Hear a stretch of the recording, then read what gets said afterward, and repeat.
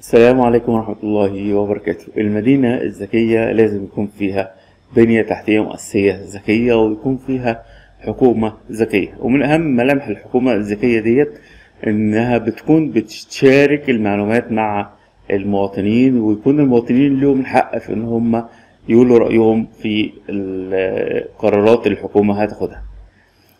فلازم تكون الخدمات والقرارات العامة تكون أكثر انفتاحا واستدامة وتعاونا وشفافية.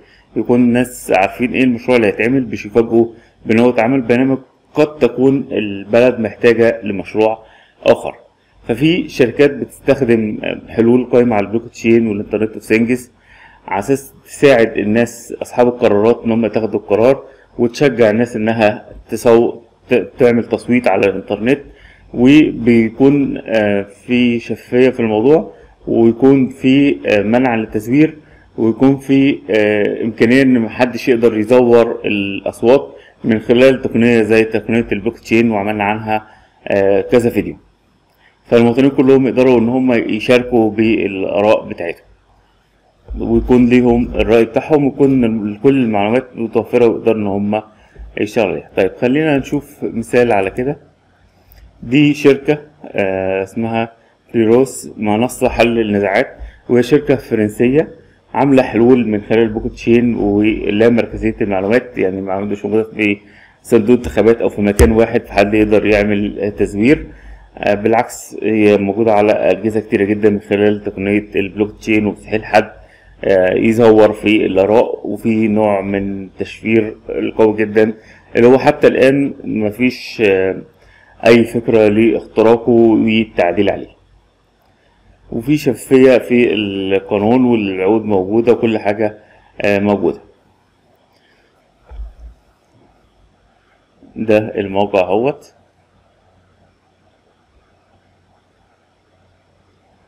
والناس تقدر تعرف كل المعلومات عن المدى بتاعتهم ويشاركوا. طيب تعال نشوف الموقع التاني. بوليتيا ده بيوفر حلول للحوكمة.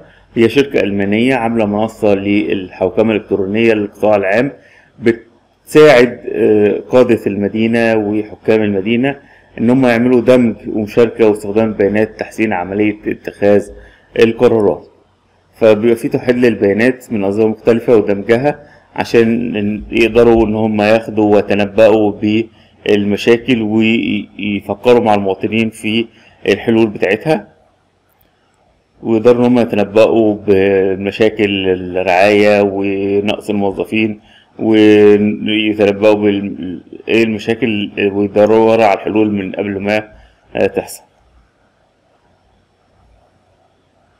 هنا بشرح لك الفكرة بتاعت تبادل المعلومات والسرية بتاعتها وإن المواطنين كلهم يكونوا مسؤولين عن اتخاذ القرار.